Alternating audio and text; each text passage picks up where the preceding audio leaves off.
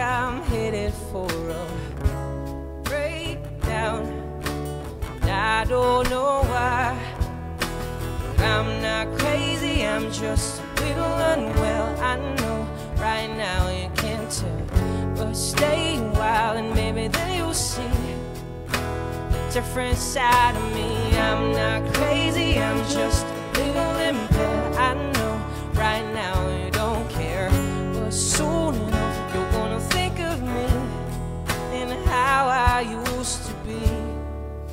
me.